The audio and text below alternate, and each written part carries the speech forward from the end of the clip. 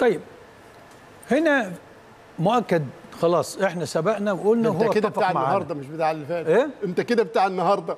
آه. لا بس أنا عايز أقول إيه؟ آه. هو ممكن يجي يقول لك إيه؟ بس أنت دلوقتي بتقول كده عشان الظرف إن أنت يعني اتعمل فيك هذا الكلام بس أنت ما كنتش بتطبقه إحنا من أول يوم إحنا عندنا حتة الملاءة المالية والسلامة المالية.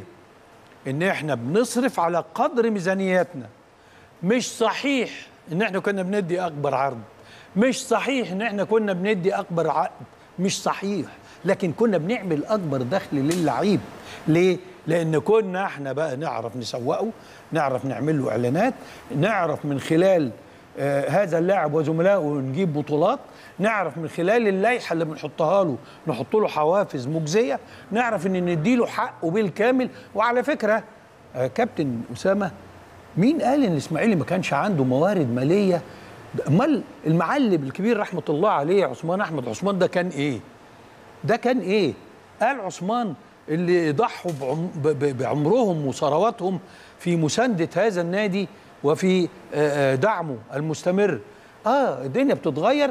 كان يجب أن يتطور أمر عملية ال ال- التمويل الذاتي. لازم باستمرار يبقى في أفكار باستمرار تجدد هذا الأمر.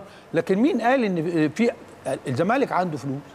آه، الترسانة عنده محلات وعنده بتاع رغم إن أنا أشفق على الترسانة في اللي هي فيه لكن مؤكد إن هناك حلول للخروج من هذا الأمر. النادي الأهلي هو النادي الوحيد اللي قاله السنة اللي فاتت واللي قبليها تنطبق عليه كل آه، شروط آه، رخصة الأندية المحترفين. آه. و آه، أستاذ أسامة دور وشوف إذا كان هذا الكلام صح ولا لا. إذا كنا إحنا مش صح برضو قول لنا. آه، هو ده هو ده طريقة الحوار.